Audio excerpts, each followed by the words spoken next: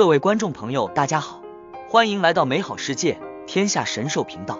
在中国神话体系中，最令人印象深刻的莫过于永恒的生命。无论是神仙、佛陀，还是山精鬼魅，他们的寿命远远超出人类。道行高深者甚至能达到永生不灭的境界。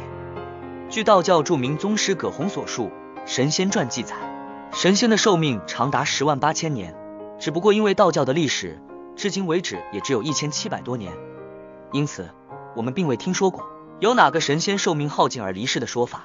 所以，关于神仙是否有限寿的说法，或者对神仙寿命的推断，自然就成为了空谈。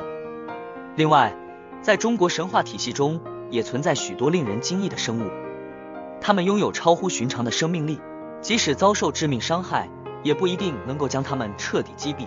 从某种意义上说，它们已经接近于不死之境。近年来，网络上涌现出许多关于僵尸王以及僵尸排行的说法，然而这些说法却与传统神话中的形象存在巨大的矛盾。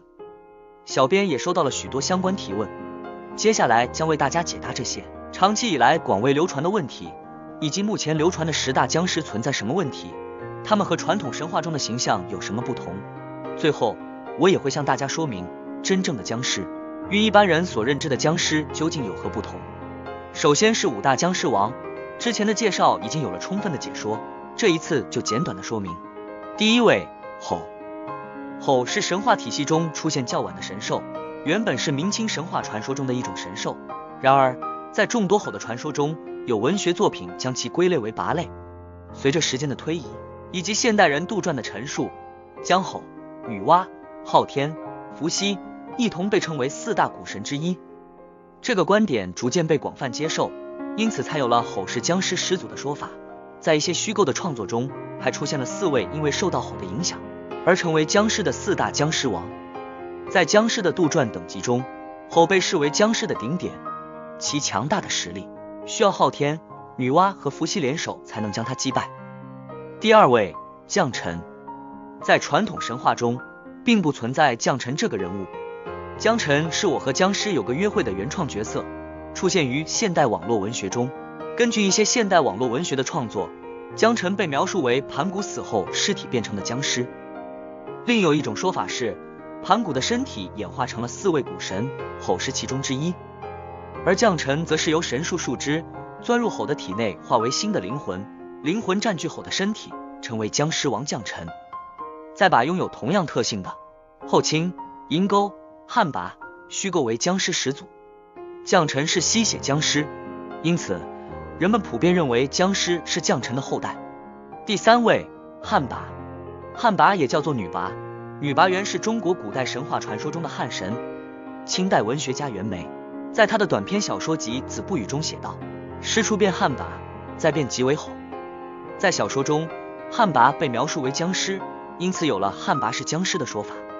第四位银钩，银钩是现代人虚构的四名僵尸始祖之一，传统神话和古代文献并没有银钩这个人物。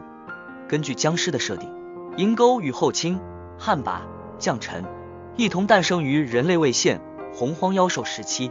直到中古时代才逐渐消失不见。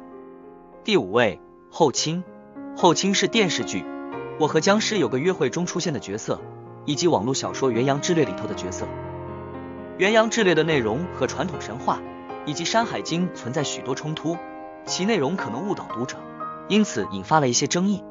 因此，后清这一角色在传统神话中并不存在。接下来是被误传为僵尸的五个人物。第六位。刑天，目前网络上将刑天列为十大僵尸之一，这类说法还被不断的传播。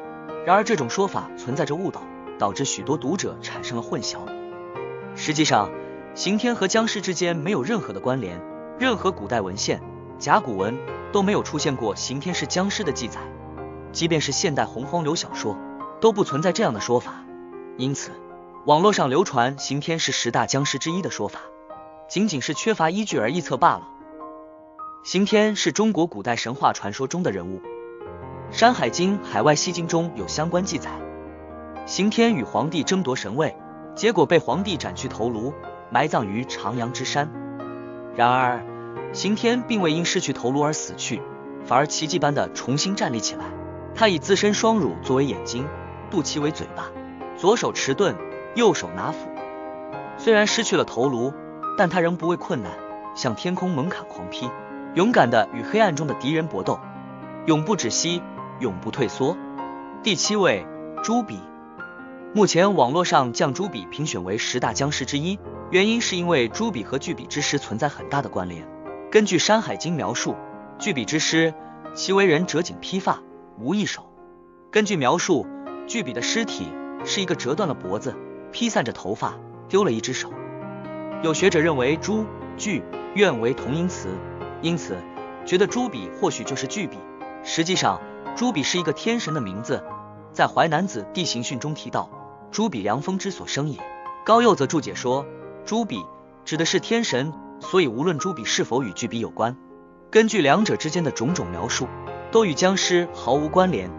第八位，夏庚。夏庚同样被誉为十大僵尸之一。根据《山海经》的记载，有人无手，操戈顿立，名曰夏庚之师，故成汤伐夏桀于张山，克之，斩庚绝前。庚既立，无手，走绝救。乃降于巫山，无头，以两乳为目，肚脐为口，右手操七，左手持盾，在舞蹈。这段古籍描述了一个无头之人，手持武器和盾牌，被称为夏庚之师。据说夏庚在战斗中被斩首，但却仍能继续战斗，最终逃至巫山。夏庚之师的形象是以双乳作为眼睛，肚脐作为口，右手操七，左手持盾，在舞蹈中出现。夏庚和刑天一样，都是被砍去头颅却仍能存活的人物，但并不是说他们是僵尸，而是神话传说中的特殊存在。关于这一点，我会在最后为大家进行说明。第九位，王亥。目前有读者将王亥评选为十大僵尸之一，但事实上，王亥是中国最早的商人，他担任夏代商国部落第七任国君，即位之后，致力于养殖牛马，并发明牛车作为运输工具。也因此让部落的农业快速的发展，同时还发展了贸易业，有效缓解了农牧产品过剩。它促使农业迅速发展，开创了商业贸易的先河，使得商人从事的职业被称为商业，因此就有了现今商业用词的来源。然而，有意识部落首领连臣见财起歹意，杀害了王亥。王亥去世后，人们就将王亥尊称为华商始祖，并把他作为民间供奉的中兵财神。列为九路财神之一，在古代文献《山海经·海内北经》中，也提到了与王亥相关的传说。《山海经·海内北经》记载，王子夜之师两手、两骨、胸手、齿皆断一处。这段文字描述了每到夜晚都会出现的一具尸体，他的双手、双腿、胸部、头颅和牙齿都被分散开来。据传说，这具尸体。便是被那有义军绵臣杀害的王亥。然而，这并不代表王亥是僵尸。根据描述，从来就没有出现过王亥是僵尸的说法，因为在传统神话中，被分尸却依然能够活动，并不属于僵尸的特性。尽管如此，在一些游戏中，王亥被错误的设定为僵尸王。一些读者在未经核实的情况下，误引用了这些游戏设定，导致了王亥被认为是僵尸的说法。实际上，王亥成为了道教九大财神中的中兵财神，把他比喻为僵尸是不恰当的。